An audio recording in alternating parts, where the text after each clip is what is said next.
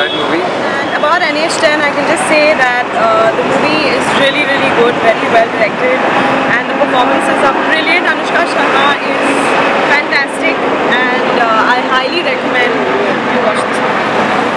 Very slow, pathetic movie. Don't watch it. 10 out of 1. Uh, I would give it 4 out of 5. One Out of five.